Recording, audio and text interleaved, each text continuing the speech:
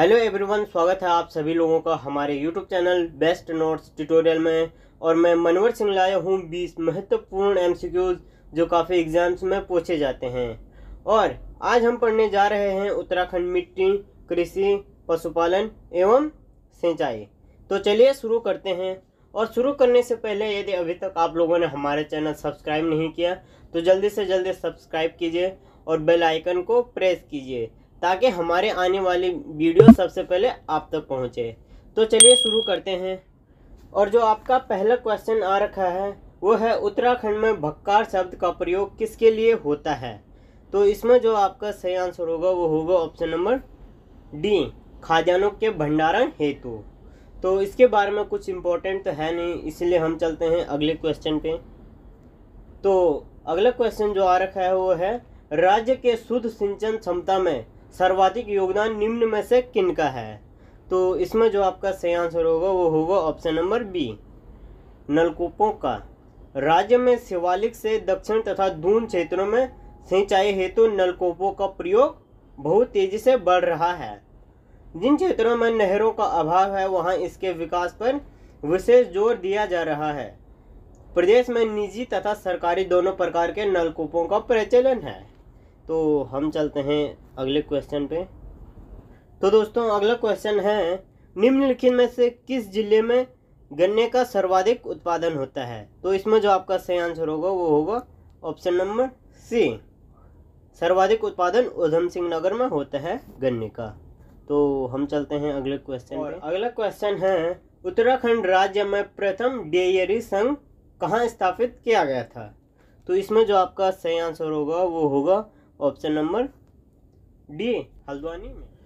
तो दोस्तों, अगला जो क्वेश्चन है वो है, राज्य के पर्वतीय क्षेत्रों के अधिकांशतः मृदा का पीएस मान कितना है? तो इसमें जो आपका सही आंसर होगा, वो होगा ऑप्शन नंबर बी 5.5 एवं 6.5 के मध्य में। तो इसके बारे में कुछ इम्पोर्टेंट तो है नहीं, इसलिए हम चलते हैं अगले क्वेश्चन पे। तो अगला क्वेश्चन है, निम्न में से कौन सी फ़सल राज्य के तराई क्षेत्र में अप्रैल माह में फूल आने की अवस्था में दिखती है। तो आपका जो सही आंसर होगा, वो होगा ऑप्शन नंबर सी सूर्यमुखी। सूर्यमुखी का सर्वाधिक उत्पादन वाला क्षेत्र है, नैनीताल, अल्मोड़ा, देहरादून, हरिद्वार है। तो हम चलते हैं अगले क्वेश्चन पे। तो दोस्तों, अगला जो क्वेश्चन है, वो है राज्य में दूध एवं दुग्ध उत्पादों का, को किस ब्रांड नेम से बेचा जाता है? तो इसका उत्तर यदि आप लोग जानते होंगे तो कमेंट्स बॉक्स में ज़रूर दें।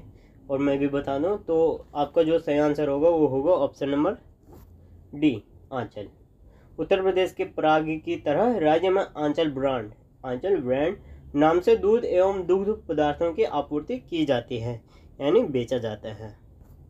तो आपका अगला क्वेश्चन है। तो दोस्तों, अगला क्वेश्चन है, राज्य में उगाई जाने वाली फ़सलों में सबसे महत्वपूर्ण समूह किनका है? तो आपका जो सही आंसर होगा वो होगा ऑप्शन नंबर बी। गेहूँ, धान, मंडवा व आलू। तो हम चलते हैं अगले क्वेश्चन पे। तो दोस्तों, अगले क्वेश्चन है, उत्तराखंड में कृषि भूमि नापने का पैमाना क्या है? तो इसका आंसर तो आप लोग भी जानते होंगे। यदि जानते होंगे तो कमेंट सेक्शन में अपना कमेंट ज़रूर दें।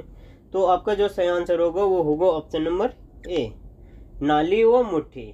राज्य में कृषि भूमि नापने के लिए नाली व मुट्ठी पैमाना प्रयुक्त होता है। एक नाली बराबर होता है 200 वर्ग मीटर तथा पचास नाली बराबर एक हेक्टेयर होता है। तो हम चलते हैं अगले तो दोस्तों अगला क्वेश्चन है उत्तराखंड में कृषि योग्य भूमि लगभग कितनी है? तो इसमें जो आपका सही आंसर होगा वो होगा ऑप्शन नंबर डी तेरह प्रतिशत। तो हम चलते हैं अगले क्वेश्चन पे। तो दोस्तों, अगला जो क्वेश्चन है, वो है, उत्तराखंड में एक नाली ज़मीन कितने वर्ग मीटर के बराबर होती है? तो आपका जो सही आंसर होगा, वो होगा option number option number C 200 वर्ग मीटर। तो इसके बारे में भी कुछ इम्पोर्टेंट तो है नहीं, और हम चलते हैं अगले क्वेश्चन पे। और अगला क्वेश्चन आ रखा है, ऊपरी गंगा का उद्गम स्थान कहाँ है? तो इसमें जो आपका सही आंसर होगा, वो होगा ऑप्शन नंबर बी हरिद्वार। यह राज्य की सबसे पुरानी नहर है, जिसका निर्माण 1842 से अठारह सौ चौवन के बीच किया गया था। इसका उद्घाटन लॉर्ड डलहौजी ने किया था। इस नहर को हरिद्वार के समीप गंगा के दाहिने छोर से निकाला गया है, जो कि कानपुर तक आई है। सन उन्नीस सौ तिरासी में इसका आधुनिकीकरण कार्य शुरू हुआ था।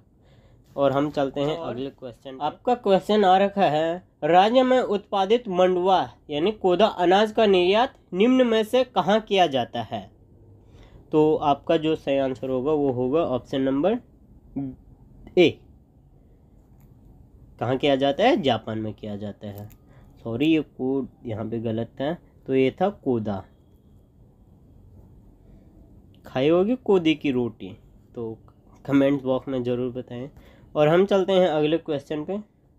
तो दोस्तों, अगला क्वेश्चन है राज्य में चाय की खेती को सर्वप्रथम किस व्यक्ति ने कराया? तो आपका जो सही आंसर होगा, वो होगा वो होगा option number C Bishop Heber और अगला क्वेश्चन है, और अगला क्वेश्चन आ रखा है, निम्नलिखित में से राज्य में सर्वाधिक क्षेत्रफल पर खेती की जाने वाली दो फ़सलें हैं। तो इसमें जो आपका सही आंसर होगा, वो होगा ऑप्शन नंबर बी गेहूँ व चावल ओके? तो हम चलते हैं और अगला क्वेश्चन है चावल का सर्वाधिक उत्पादन किस ज़िले में होता है? तो आपका जो सही आंसर होगा वो होगा option number A Udham Singh Nagar में। चावल राज्य का द्वितीय प्रमुख फ़सल है। इसके लिए चिकनी उपजाऊ या मटियार दोमट मिट्टी गर्म जलवायु पचहत्तर से 125 सेंटीमीटर वर्षा रोपते समय 20 डिग्री सेल्सियस तथा पकते समय 27 डिग्री सेल्सियस तापमान सर्वोत्तम होना चाहिए। उत्तराखंड की कुल कृषि भूमि के लगभग 21.6 परसेंट भाग पर चावल उगाया जाता है और चावल का जो सर्वाधिक उत्पादन होता है, वो होता है उधम सिंह नगर में। और हम चलते हैं अगले क्वेश्चन पे। अगला जो क्वेश्चन है, वो है, रामगंगा बाँध को किस नाम से जाना जाता है? तो आपका जो सही आंसर होगा, वो होगा वो ऑप्शन नंबर बी कालागाड़ बाँध। तो हम चलते हैं अगले क्वेश्चन पे। और आपका जो क्वेश्चन है, वो है, राज्य में जिरेनियम की खेती की जाती है और जिरेनियम का मुख्य उत्पाद क्या है? तो जो आपका सही आंसर होगा, वो होगा ऑप्शन नंबर डी सुगंधित तेल। जिरेनियम अफ्रीकी मूल का एक शाकीय सुगंध युक्त पौधा है। इसका जो वानस्पतिक नाम है, वो है पैलरगोनियम ग्रेवियोलेंस है। इसे गुलाब के सुगंध युक्त जीरेनियम भी कहा जाता है। इसका जो मुख्य उत्पाद है वो है सुगंधित तेल जो जीरेनियम की पत्तियों से निकाला जाता है। जीरेनियम क्या है? एक पौधा है। तो हम चलते हैं अगले क्वेश्चन है निम्न में से स्वतंत्रता के बाद राज्य में पहला भूमि बंदोबस्त हुआ। तो वो हुआ था 1960 और चौंसठ में यानी option number A is right answer और अगला क्वेश्चन है निम्न में से किस फ़सल की खेती राज्य के पहाड़ी क्षेत्रों में की जाती है? तो आपका जो सही आंसर होगा वो तो आप जानते ही होंगे फिर भी मैं बता दूँ यदि आप जानते हैं तो कमेंट सेक्शन में अपना कमेंट ज़रूर दें। तो मैं बता दूँ वो है ऑप्शन नंबर सी झंगोरा। उत्तराखंड में झंगोरा नाम से पहचाने जाने वाले अनाज का वानस्पतिक नाम है इकनिक्लोवा फ्रूमेंटेंसी है। आप लोगों को स्क्रीन पर भी दिखाई दे रहा होगा।